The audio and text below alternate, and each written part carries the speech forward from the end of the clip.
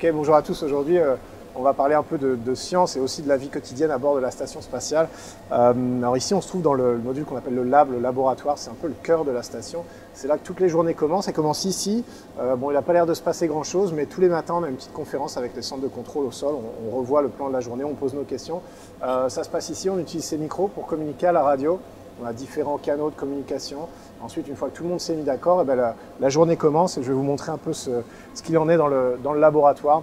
C'est un des modules les plus grands de la station. Derrière chaque surface, il va se passer quelque chose. Soit c'est des équipements ici pour filtrer le CO2. Euh, ici, vous voyez notre station de contrôle du bras robotique. Euh, ici, la station d'entraînement pour le bras robotique. Du stockage. Euh, et ensuite, au, fur et à mesure qu'on continue, vous allez voir, on a beaucoup de beaucoup d'ordinateurs, de, laptops qui sont suspendus un peu partout. J'ai aussi mon iPad sur ma cuisse, ma tablette. Et ça, ça va nous permettre d'accéder à nos procédures, aux documents que le centre de contrôle met à notre disposition pour nous aider, euh, pour nous aider à, passer en vue la journée euh, et à faire notre travail.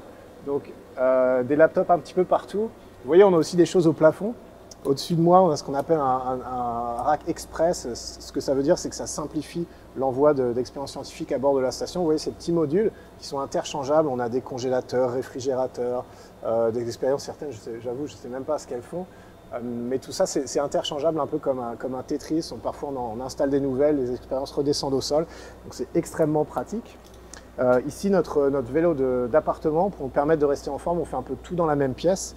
Euh, et puis, une, un endroit qui est assez intéressant, que moi j'affectionne particulièrement, c'est ici, on a notre, notre fenêtre d'observation. C'est d'ici qu'on prend beaucoup de nos photos de la Terre. On a une vue verticale euh, qui est absolument magnifique, une, fenêtre d'une qualité optique euh, incomparable qui nous permet d'utiliser euh, des appareils photo avec euh, des objectifs euh, très très importants pour avoir des vues zoomées de la Terre. Et tous les astronautes euh, adorent faire ça et chacun essaie de, trouver ses, endroits préférés. les fameux appareils photo, ils sont ici, donc vous voyez, c'est quand même des, objectifs impressionnants, mais c'est le prix à payer pour avoir des photos de la Terre. Euh, on continue, donc toujours la même chose, hein. ici sciences des matériaux, ici derrière ces parois, sciences des combustions, ici on a notre, notre, euh, euh, notre euh, expérience sur les atomes super froids, donc proche de 0 degré Kelvin, des équipements partout, ça il faut s'y habituer, électrique, électronique. Ici une, boîte à gants, donc boîte à gants en mauvais français, ça nous permet ben, à l'intérieur de, réaliser, des, elle, se déploie comme ça, hein, ça nous permet de réaliser des expériences ben, tout en les isolant du reste de la station pour la sécurité, pour leur sécurité, que nous on ne les pollue pas et pour notre sécurité parfois, en fonction des produits euh, qui, sont, qui sont employés.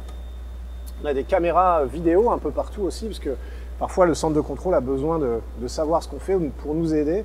Donc ça les aide énormément. On laisse les caméras branchées, c'est pas Big Brother, mais, de temps en temps, on a quand même besoin de cette vue. Euh, ici, bah, vous voyez, c'est les conditions, les conditions du réel. On n'a pas rangé spécialement pour vous, mais ça, c'est une espèce de sac de transport, ce qu'on appelle des CTB.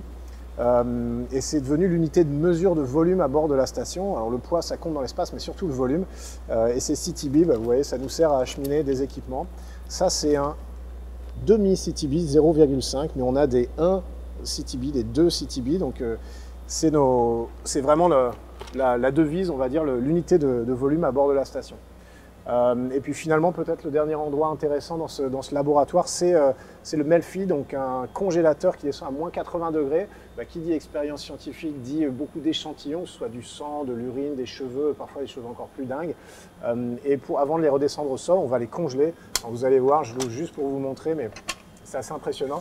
C'est là-dedans qu'on va pouvoir stocker à moins 80 degrés toutes nos expériences. On essaie de ne pas se brûler, on le fait avec des gants, mais là je ne vais pas toucher. Euh, et pour attendre un véhicule qui va redescendre au sol et qui va ramener tout ça avec eux. Voilà, donc on vient de passer en vue en quelques minutes à peu près une, une journée complète qui commence au briefing, euh, qui passe par le sport, un peu de photos, et puis beaucoup de travail euh, sur les équipements scientifiques un peu partout. On finit par mettre les, exp les expériences ici, et puis en, encore une fois la même conférence pour conclure la journée. Voilà, maintenant vous avez participé à une journée de ma vie d'astronaute. Merci de nous avoir suivis.